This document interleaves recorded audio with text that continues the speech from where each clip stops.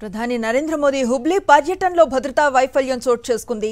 Road షోలో పాల్గొన్న ప్రధాని కాన్వాయ్ వద్దకు అకస్మాత్తుగా దూసుకొచ్చాడు బాలుడు. మోదీకి పూలదండను అందజేసేందుకు ప్రయత్నించాడు.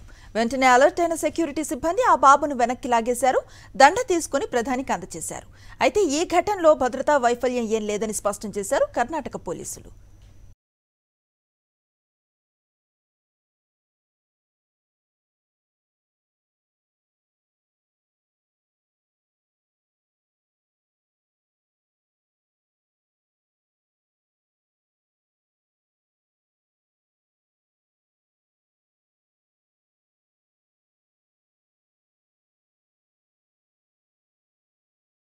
తమిళనాడు శ్రీలంక మధ్య ప్రతిపాదిత సేతు సముద్రం ప్రాజెక్టు మరోసారి తెరపైకి వచ్చింది. సేతు సముద్రం ప్రాజెక్టుకు అనుకూలంగా తీర్మానం ఆమోదించింది తమిళనాడు అసెంబ్లీ.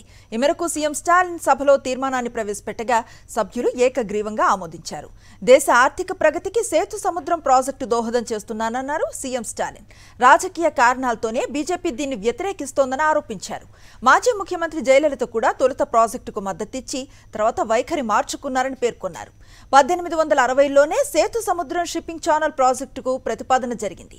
అనేక అధ్యయనాలు అవాంతరాల తర్వాత రెండు వేల ఐదులో కేంద్రంలోని మన్మోహన్ ప్రభుత్వం దీనికి గ్రీన్ సిగ్నల్ ఇచ్చింది.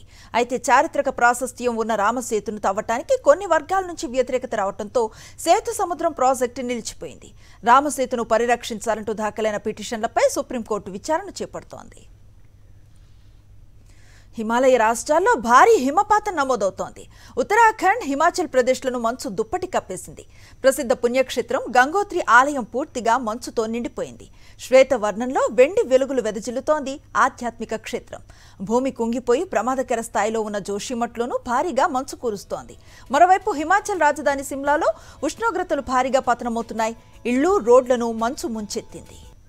జమ్మూ కాశ్మీర్లో స్నో ఆవలాంచ్ ఏర్పడింది.